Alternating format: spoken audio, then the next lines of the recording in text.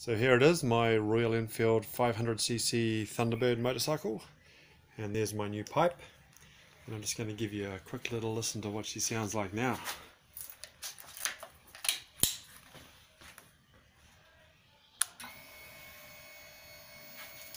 20 litre tank there.